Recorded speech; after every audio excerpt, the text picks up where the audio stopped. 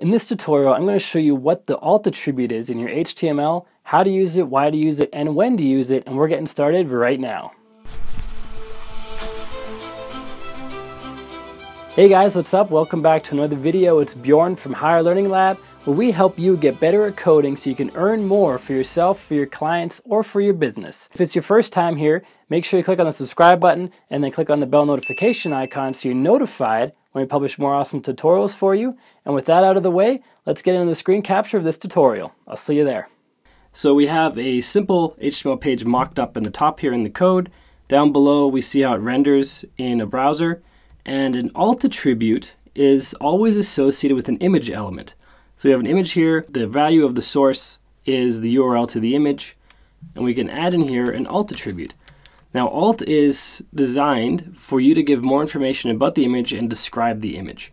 It is a piece of text that a screen reader will read, and screen readers are used by people with visual impairment, so they can't see the website quite how you intend it to appear to people with normal vision, so they use screen readers.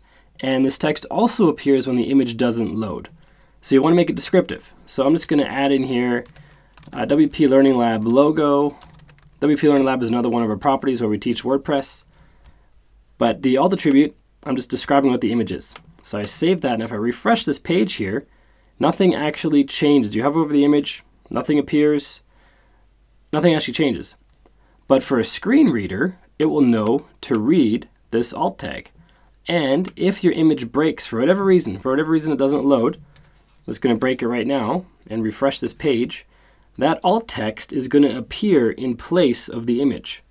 So here we have a little page icon with the little crack in it. That's the broken image icon.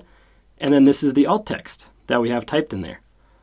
So even if the image doesn't load, people will be able to see the alt text, which describes the image. And that's how easy it is to work with the alt attributes in HTML. I hope this video helps you. If you haven't done so yet, click on the subscribe button, then click on the bell notification icon so you're notified when we publish more awesome content. And then click on that card that just appeared in the top right of this video for some awesome resources and until next time, keep crushing it, and I will see you in the next video.